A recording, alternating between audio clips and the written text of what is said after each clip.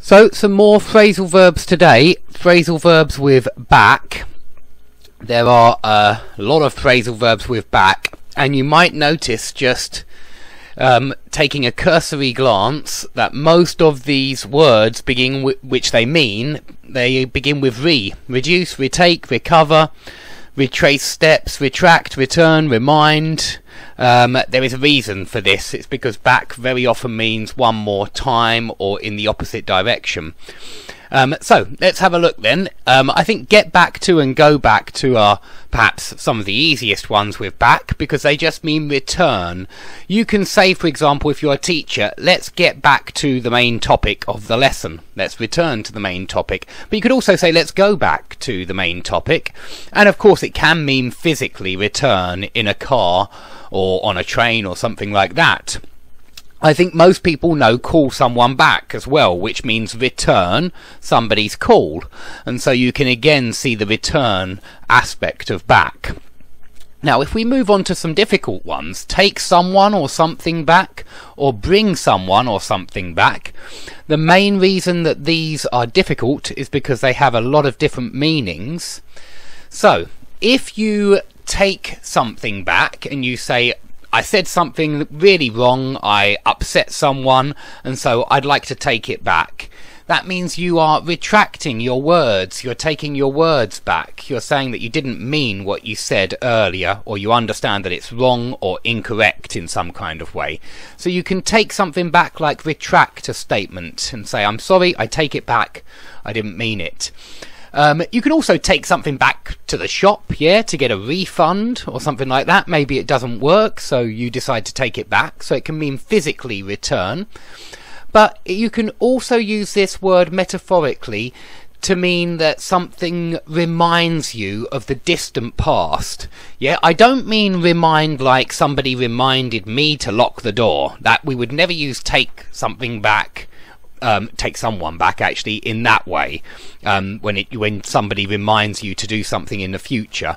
I'm only talking about distant past here, so you'll say something like this. You'll say the smell of paint takes me back to when I was 11 years old or something like that. It reminds me of when I was 11 years old for some reason. Maybe you smelt a lot of paint when you were 11, but you could say that smell takes me back to when I was that age.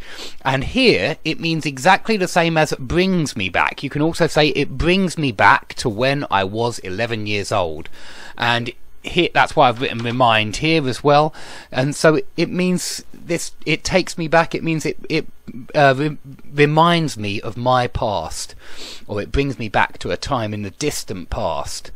Okay, so bring something back is very similar to take something back. You can bring something back to the shop for in order to get a refund. You can say that the smell of roses takes me back to when I was playing in my grandmother's garden. But you can also use bring something back to mean reenact some kind of law or some kind of policy that the government had. So you could say, I think we should bring back capital punishment. Something like that, meaning we should reenact capital punishment. We should bring in new legislation in order to bring back the death penalty. So we could use it like that to bring something back from the past and make it a law again. Or we can also use it to bring back a person, meaning to revive a person. Um, so if a person's almost dying and you manage to wake him up and bring him back, then uh, you, you bring that person back, perhaps from the brink of dying. Um, okay, um, sets something back. If something sets you back, it delays your progress very often. So you can say we have suffered a few setbacks, and you can say um, the weather has set us back three months. It's set the project back three months. You can also say it has it has a it has held the project back for three months yeah, it has been holding it back for the last three months, something like this, and then it would mean delay or hinder. But you can also use setback like it cost me. You can say this computer set me back £800. Sounds very informal. I think it's British English. I'm not sure they I've heard the Americans using it, but maybe they do, I'm not sure. And yeah, it just means it costs. It set me back £50. It co- cost me 50 quid.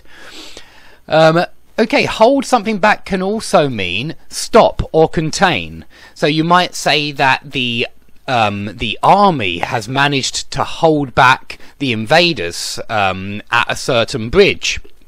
It means stop them at that point and held them back, contained them. Um, but you could also hold back a patient. Maybe if a patient is attacking the doctor, he may need to be held back. He may, may need to be restrained. And here it, we come on to the third meaning of hold back, which means restrain oneself. And so maybe uh, here I mean control yourself. Maybe you go go to a meeting and you're really angry with what your company has been doing recently and you can't hold yourself back. You can't restrain yourself. You have to shout at them and tell them what your what your problems are, what your emotions are. And so it's really about restraining your emotions if somebody holds themselves back. They restrain themselves. They don't um, let go of themselves. They don't lose control of themselves. Okay, if you go back on your word or you go back on your promise, you break your promise. And really, this phrasal verb does collocate with promises, your word, that those kind of nouns if a pupil, and I'd usually use this for pupils or young young children or teenagers, um, if they talk back or answer back, that means that they reply in a rude and cheeky way. Sometimes in an impertinent way, yeah, but cheeky in an informal language. We often call youngsters cheeky if they're a little bit rude and perhaps a little bit disrespectful. We'll often call them cheeky, and that that that will often be because they talk back or they answer back to the adult in charge. Okay. If you cut back on staff, you reduce the number of staff that you have in the company. If you cut back on cigarettes, you reduce the number of cigarettes that you're smoking every week or every day. So it's always reduce, cut back if you try to claw back some money, it's always about money, it seems to me. It's very rarely about something else, although it may be, perhaps, in some situations. Never say never.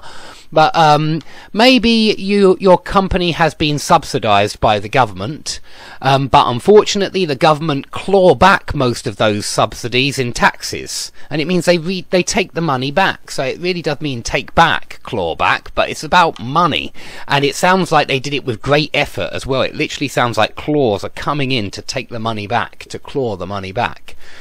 Um, so it can be used in a few different ways, but really to retake money, that's the me- main meaning. Okay, if the economy bounces back, it recovers after a recession or something like that. And if the patient bounces back, then he recovers. He makes a, a full and speedy recovery. So to bounce back is to recover.